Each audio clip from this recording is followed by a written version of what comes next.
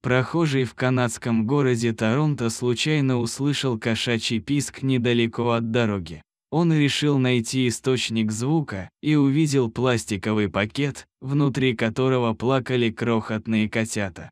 Мужчина увидел в брошенном пакете нескольких крохотных котят, те отчаянно пищали, жались друг к другу и звали на помощь. Он просто не мог поверить тому, что увидел, и сразу отнес котят домой. Они вместе с дочерью позаботились о малышах и оставили их у себя на ночь. Так как семья не могла оставить котят, на следующее утро их отвезли в приют Торонто Humane Society. Там определили, что котятам всего около трех дней. Волонтеры начали активно восстанавливать здоровье котят, ведь оно было на волоске.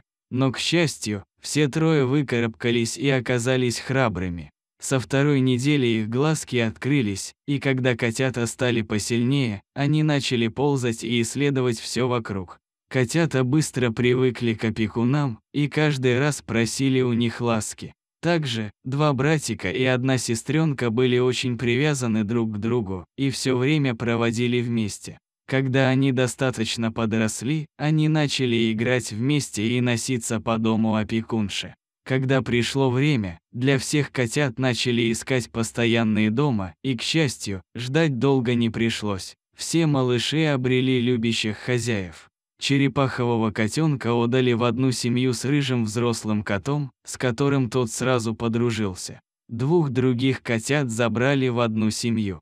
Те очень сблизились за время передержки, и опекуны не хотели отдавать их по отдельности. Сейчас малыши вместе и дружно радуются каждому дню. Спасибо добрым людям, которые когда-то подарили жизнь всем этим малышам.